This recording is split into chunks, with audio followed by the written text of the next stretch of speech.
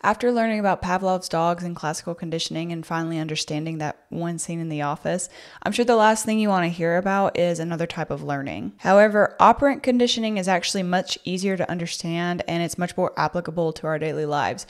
Moreover, it's way more high yield on the MCAT, which I know is all that we care about. So let's learn about it. Operant conditioning is learning through reinforcements and punishments. A reinforcement is something that increases the likelihood of a behavior happening again. It's like a reward. I think that's the second time I've said that in one of these videos. My brain is mush. A punishment is something that decreases the likelihood of a behavior happening again. So we got reinforcements and punishments. There's a second part to this type of conditioning, though, and that's positive and negative. Go ahead and get it out of your head that positive means something good is happening and negative means something bad is happening because that's not what we're talking about here. Positive means that a stimulus has been introduced to the scenario.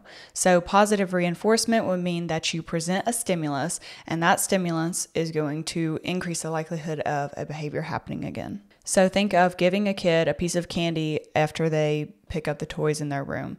You are presenting a stimulus, and so it's positive, and you are also enforcing that behavior and increasing the likelihood that it's going to happen again. So that's a reinforcement, positive reinforcement. You can also have positive punishment. Think of spanking a kid after they throw a tantrum. You want to decrease the likelihood that they're going to throw a tantrum, and so you are presenting a stimulus um, in the form of spanking them. Negative means you take a stimulus away. So, negative reinforcement is probably the weirdest one of all of these to think about. Imagine if your kid got good grades, so you took away their chores for the week. You want to reinforce the good grades, so you take away a stimulus in the form of the burden of their chores, I guess.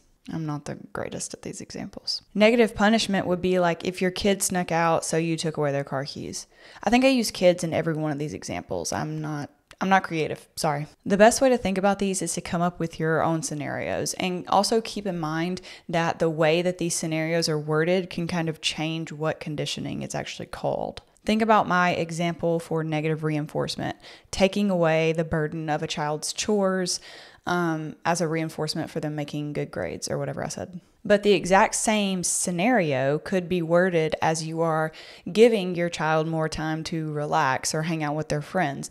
And in that case, that would be positive reinforcement, even though it's the same like scenario in reality. It's just the way it's worded. Okay, now the flip side of operant conditioning is reinforcement schedules. And so, of course, we're pretty much just talking about reinforcement here. You can divvy up reinforcement by how often you give a stimulus and by how reliably you give it. It's hard to explain in words. So let's give some terms and some examples. So, what I was getting at when I was talking about how reliably something is reinforced is the reinforcement or the reward given at predictable times after you exhibit the goal behavior. For example, do I give my employee a bonus every 50 sales he makes? That would be considered fixed.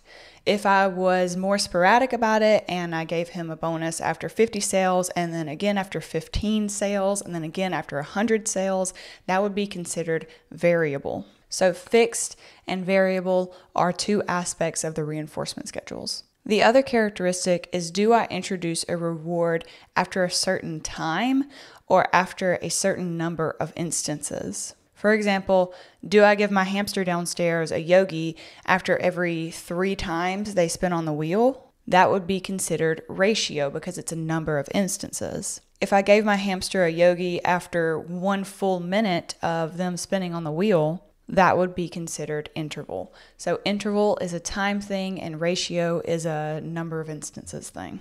Okay, so you got fixed and variable, and you got ratio and interval. Those are the different ways you can classify these reinforcement schedules, but they're actually like kind of mixed up. And let me show you a picture to make this more simple. So you can see here that if you kind of put fixed and variable on two ends of a spectrum and ratio and interval on another end of a spectrum, you kind of end up with these four different types of reinforcement schedules. And you guys can kind of pause this and read um, what fixed ratio versus variable ratio, et cetera, et cetera, what all that means. The last thing you should know about the reinforcement schedules is that variable ratio is the best reinforcement schedule for producing a behavior. It's actually what gambling is, and it's one reason why gambling is so addictive. Think about it. You don't get a reward every time you pull the lever on the slot machine, so it's variable, and the reward is hypothetically given after a certain number of instances of you pulling the lever, so that's ratio. It's so addicting because you don't get a reward every time you pull that lever,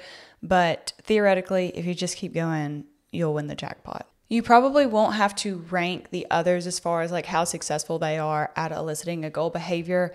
And to be honest, I don't really know for sure, but I would imagine after variable ratio, I would imagine the other variable, variable interval, would uh, be more successful than either of the fixed ones, just for the same reasoning. Like you never know when you're going to get that reward, so you just kind of keep going. All right, so that's operant conditioning in a nutshell. I hope that was helpful for you guys. And if it was, then you will really, really, really love the book that John and I just wrote. Um, we're going through the editing process right now, and then it will be up on our website. So check down in the uh, description below. That's where we will put the link when it is actually up um, on our website. Let us know if you guys are enjoying this little high yield series that me and John are doing and what else you want to see down in the comments below. See you next time.